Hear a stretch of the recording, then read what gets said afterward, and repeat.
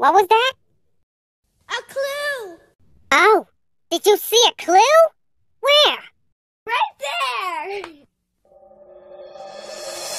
Oh, there it is.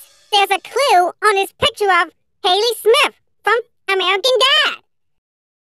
And second thought, this is not James Kephart's girlfriend. That's what I meant to say.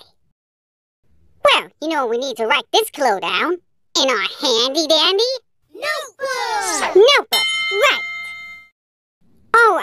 Let's draw Hayley Smith. We have a sucker for her head, her ears, her hair like this, then some lines for her tank top, her pants,